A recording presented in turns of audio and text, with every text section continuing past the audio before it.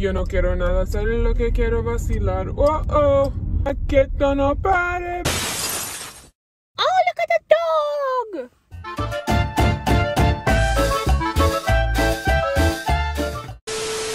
Today, you know what the video is going to be. I'm going to be telling you guys how I passed my practical and my theory tests first try. I'm going to have the satisfaction of telling my children that i passed my theory and my practical the first time. The same way my dad had his satisfaction i'm going to have satisfaction as well. So for my theory i actually got flip. I don't even remember what it's out of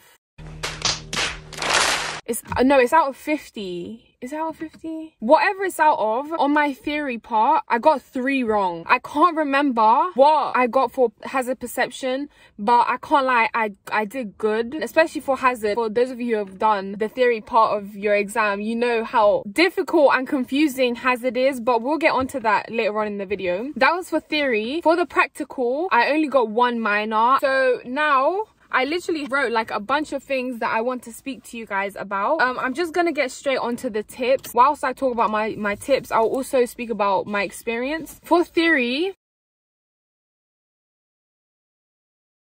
The app that I use to revise for theory is this one. It's called Driving Theory Test 4-in-1 Kit. So it's just this one here. When I tell you, this app is absolutely beautiful. Like it is amazing. It has literally all of it. I know there's this other there's another app that people like using. This one over here. I don't know what it's called. And i you get like four apps with it. But this guys this one has literally everything you need. My first tip is to practice every single day because practice makes perfect. I promise you do at least one mock a day and make sure you go on youtube and watch a video like a good video explaining how hazard works because i remember for like the first three weeks that i was practicing on the app i was doing hazard completely wrong. That's because i didn't watch any videos explaining how it actually works. I remember for the longest i was doing it completely wrong and i was getting like so bad in the mock tests. And then after i watched the video I started getting better. So another thing that I would do in this app, basically, there are different sections in the app for theory and whatever section you want to practice on, click on it and they'll give you an option of how many questions you want to do. So I would usually do about like 15 questions at once. I would go through all of those questions and then at, before I started the actual questions, I would put on the setting that it would show me if I was wrong right after the question. And the reason I did this is because every time I got a question wrong, I would go back, put the correct answer and then put a heart on that question. And I would do that for every single question I would get wrong. So that after I had gone through every single one of the questions, the only ones that I practiced were the questions that were hearted. Because obviously, why would I need to practice questions that I already know? Questions that I already got correct in. I just realized it's kind of hard to understand what I was trying to say. So I'm literally going to physically show you guys on my phone. Okay, so once you download the app, it's right here this is what you're going to see. And so you're going to go on theory test and then you're going to go to this this section over here practice all questions. And then you're going to as you can see you're going to be given the options of all of these different um, questions that could come up. And so let's say i want to go on road and traffic signs. So i'm going to press start over here. It's going to give me the option of how many questions i want to do. So i'm just going to change this to 10 and then over here is going to say question type. I'm just going to leave it like that. And then what I meant by it would show me if the answers were incorrect after every single time that I answered is this. So you you need to make sure that this is on. So a lot of answer is incorrect. So if I start here, continue. So you're on a motorway. What should you do if there's a red cross showing on the signs above your lane only? So I'm gonna press the wrong answer, so pull onto the hard shoulder. It's gonna show me over here. So show show answer. If you reveal the question, you will not score for this answer. And then try again. You can still score a point if you get this question correct. I would just go on try again. And then because I got this question wrong, I'm gonna press on this heart over here. And so if you go back, quit it's going to show my questions and then as you can see there's a little heart over here and so you click on that and it's literally it's showing me two questions that I got wrong well that i hearted. So i'm just gonna click on those questions and like revise as you can see. And then it will show me like what the correct answer is and that's what i meant by all of that whole explanation.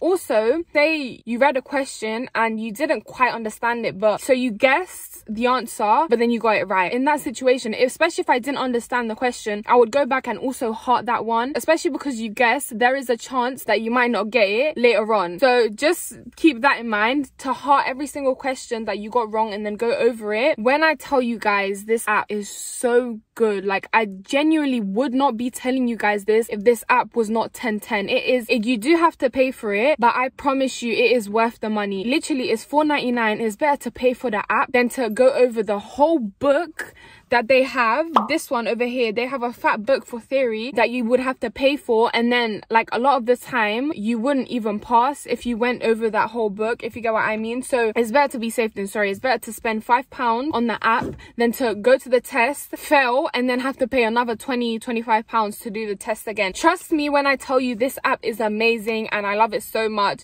and i would literally recommend it to anyone. So now for practical i know that that's what mainly what attracted you guys to this video is because you want to know how I did practical and I'm going to give you guys all of my tips, everything that I did to prepare for this exam.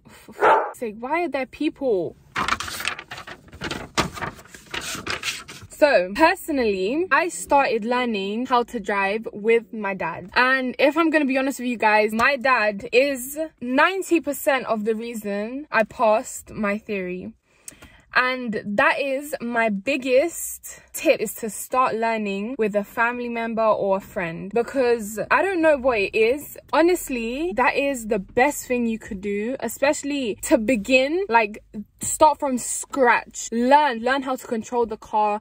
Learn how to if you're doing manual learn how to control the clutch. Learn how to before you start doing lessons with an instructor actually physically start learning how to drive with a family or friend. And the reason i say that is because driving is not the easiest especially if you're doing manual. And for you to get the hang of it entirely 100 percent it will cost you so much money to begin from scratch with a driving instructor. Because especially nowadays a good driving instructor is not cheap. So unless you're Kylie Jenner or flipping billionaire out there and you're not trying to spend all of that money on a driving instructor, start learning how to drive with your parent or any other member of family. So I started learning how to drive this time last year. So it was, no, I can't lie, it was around March 2020. And obviously like literally as soon as I turned 17, I turned 17 in February. And then in March, I was like to my dad, I need to start learning how to drive. And obviously because it was lockdown, there wasn't really that much to do. Like I took that opportunity to grab my dad and, and I basically told him to teach me how to drive. And he did. And, and then that's around the time that I started learning theory as well. And so I ended up doing my theory on the 18th of July. I was fully driving. I knew how to drive. My main thing is in order to actually take your driving test, you need to have an instructor. There's no possible way that you can do your practical and not have a driving instructor. So obviously after I'd done my theory, um, my parents already knew of my driving instructor and she is really good. So if any of you guys are looking for a really good driving instructor, DM me and I'll give you her details. I booked my practical, the uh, literally the earliest I could book it for was the 15th of January. So right before I turned 18. And like that was my goal. I was planning on getting my driver's license before I turned 18 because I just wanted to, you know, like I wanted to be able to get my driver's license at 17. But literally it was in like nearly the end of December. We went into lockdown again. So obviously my driving test got cancelled and there was no way that I could rebook until lockdown had ended because no one even knew when lockdown was going to end at that point. So I was so upset. And so obviously like, I turned 18 and I still didn't have my driver's license and like I was just so sad. So obviously it's not just the principle of knowing how to drive. If that was what the exam was based on, I'm pretty sure everyone would have their driver's license because if it was that then the the test would be easy because you basically need to drive looking at the mirrors. Like to turn you need to look at the mirrors. To signal, you need to look at the mirrors. To stop, you need to look at the mirrors. To move off, you need to look at the mirrors. Like literally for every everything you need to be looking at mirrors. And like there's just a bunch of other stuff as well. Like if you hesitate for too long that's a serious driving fault. My driving instructor picked me up um, i would say so my exam was at 1:45, and she picked me up at 11 to practice obviously before the the actual exam. And i'm not gonna lie to you guys i was completely drained. By the time i it was time for my exam like i was so tired i was so drained. I wasn't hungry. I thought i was gonna be hungry but i literally wasn't even hungry. Like i was that nervous. So by the time it was time for my driving test i was just exhausted. Like my legs were hurting. So we're in a bit of a sticky position right now. I need to go for two seconds but I will continue the video for you guys. I will continue the video in two seconds. But as I was saying, it's good to have a good driving instructor because my drive, I can't lie, I don't recommend going like literally two hours and 45 minutes before your exam. I would say like an hour and a half at the most because because you get really drained and like I was so tired by the end of it. So don't don't go for too long. But also it's good to have a good driving instructor because like my driving instructor was amazing and she took me like everywhere that um I don't know if you guys can even hear me but she took me everywhere that people most fail. So i got my driving license in hendon she took me on the places that most students fail like the most. And literally my driving examiner took me it to every single one of those places. And honestly there was one of, in one of the places like when i went there with my driving instructor i got the i got it wrong. And she said if you do this in the exam it is a serious driving fault and you will fail straight away.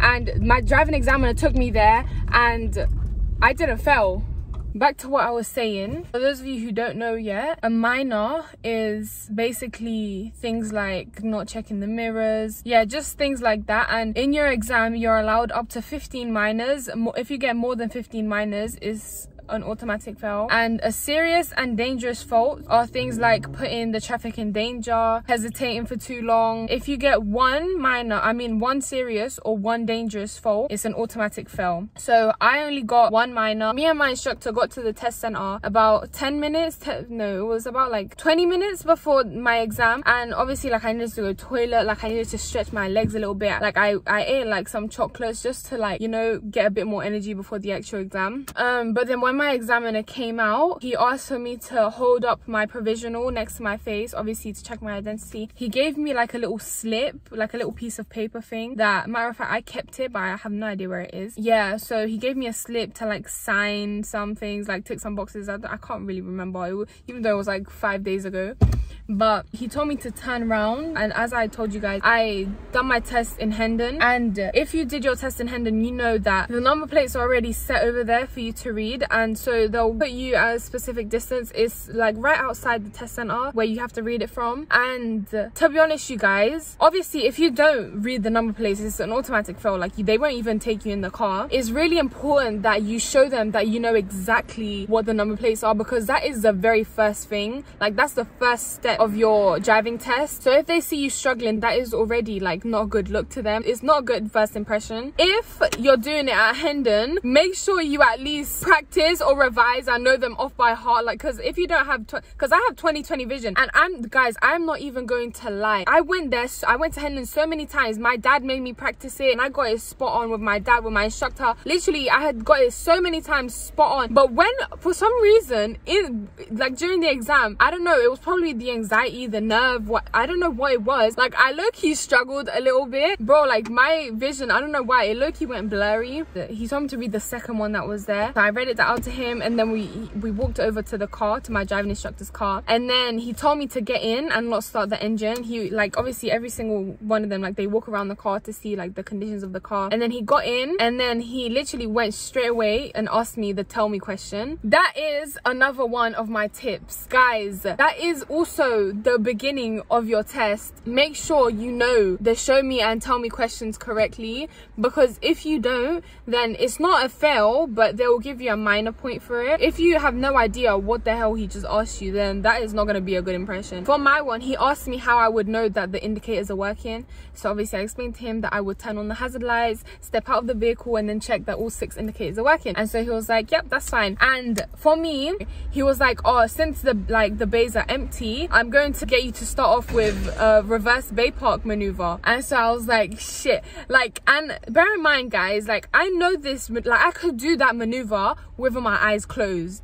But i was i don't know why i was just so scared. I did the maneuver i did it perfectly fine. I was literally right in the middle of um the lines like i did it perfectly. It was just at the very end when i put the car neutral and i put the handbrake up. I didn't fully put the handbrake up. So i like i took my feet off the clutch and, and off the brake. And so he went to open the door to check um like if i was inside the line. And then he he was like i think the car is rolling back. And i was like Oh my god. I put my foot on the brake and I fully the handbrake up. And I thought at that point I thought to myself yeah like that's it. Like i failed. Usually if they do have to touch the steering or the brakes it is like no questions asked like an automatic fail. And at that point i thought i failed. But he told me to like move off. So obviously i hadn't failed. And i'm pretty sure that that's why i got the minor the minor from. So the only reason i knew i didn't fail the the car rolled back is because now because of corona as soon as you fail they take you right back to so like if you're driving and then like you make a serious or dangerous driving fault they take you straight back to the test center because obviously the test is 40 minutes long. And if you failed then they don't want to spend that unne unnecessary amount of time in the car with you. Obviously when he told me to move off i was so glad like i knew i hadn't failed yet because he wouldn't have told me to move off if i had failed at that point because obviously it would have been unnecessary time in the car. When you are in that exam it is going to fly by because I remember I must have been driving and then next thing I know it was the end of my independent driving because obviously you do independent driving. And so he like took the the tom tom off or the sat nav whatever you want to call it. And he was like okay yeah just follow my directions. And then he told me to take a turn and it was the turn to go back to the driving test center and I thought yeah like shit like I I, I failed. I literally thought the exam had lasted 10 minutes. We had been in the car for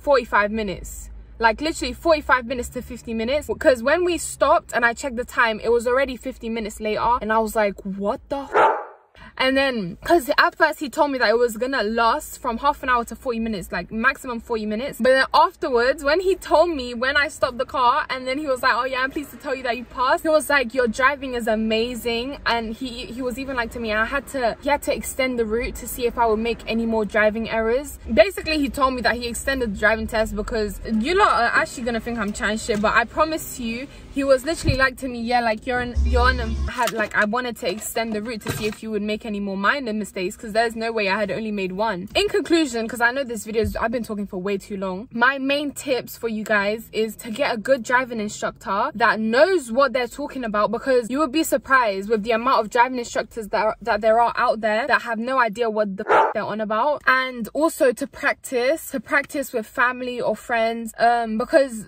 like practice makes perfect guys. Like no matter who you are what how intelligent you are how good you are practice will always make perfect when it comes to the driving instructor it's important to not only do lessons with your family like it's also really really important to get a driving instructor because a lot of the times with family members they won't know like the exact law. So like having to check the mirrors very often. My driving instructor taught me she said to me to not take my so when we're waiting at a traffic light to keep the car in first gear and keep my foot on the clutch and to not like put it on neutral and then rest. She told me do not do that under any circumstance but like when i was driving with my dad i would do that all the time and my dad wouldn't say anything. Obviously like having a driving instructor is really really important because they're the ones that know what you need to know. And guys my last and final tip watch driving videos. Literally that is a big, big chunk of the percentage as to why I passed. I would watch driving mock tests. So um, DGN driving videos. Um, I don't know how many of you guys know it, but that guy, oh my God, beautiful videos. Absolutely amazing videos. Guys, I, I must have watched every single mock driving video there is out there in the internet. And the reason being is because not only do you learn from your own mistakes, you will watch videos and because he will like pause it every single time that they make a mistake, you will also learn from that learner driver's mistakes. And when I tell you guys, it is the best thing I could have ever done because it was because of those videos that I learned that hesitation at a roundabout would lead to a serious driving fault. Trust me when I tell you that those videos helped me so so so much like you will look at other people driving and look at the good things and the bad things that they did and like when i would be watching the videos i would see myself driving like i would literally see myself in the person's shoes and driving and every single time they would make a mistake i would think in my head shit like that's something that's a mistake that i would make. And then afterwards i wouldn't make the mistake again. And they will also put everything good that the driver did. Just make sure that you watch driving videos because i promise you guys it, it helped me so much. Majority of the videos i would watch are failed mock driving tests especially right before my exam like a week before my exam. Like that's all i was watching. But the thing is that would like really put me down because they would get serious driving faults for the most stupidest reasons. I was getting so stressed out guys. So after i started watching like just only people passing and then like i got my hopes up a little bit more because when you constantly see people failing and failing and failing it's bound to put you down and like put you off driving and make you think that you're not going to pass. If you guys have any more questions like literally anything dm me or snap me and i will answer you. Um i'm sorry if i missed out anything. I feel like i have i 100 percent have. So if you do have any more questions please message me and i promise i will answer you. I will try to answer everyone. Also comment down below if you have any more questions. I wish you guys the best of luck in your exam. Do not guys do not stress okay? One last thing for me like i knew what i was doing guys. Like i know how to drive perfectly. Like i know everything that I have to do. I was so stressed out before the exam. Like you can ask my parents, ask Victor, like I would literally cry and cry and cry. Thinking I would say to myself, I'm gonna fail, I'm gonna fail, I'm gonna fail. But guys, like I regret it so much. Now that I think back to it, I realized that I know what I'm doing. And if I was to fail, it would be because my nerves got the better of me. So there is absolutely no, you will get nervous. I'm not going to lie. You will get stressed and nervous, but just try your best to calm down and think to yourself, I know what I'm doing. Sorry, my phone keeps on turning off, but just think to yourself, I know what I'm doing. I know how to drive. Um, there's no point in being nervous because if I do fail, it would be because of my nerves. So just do not stress. Just breathe and believe in yourself.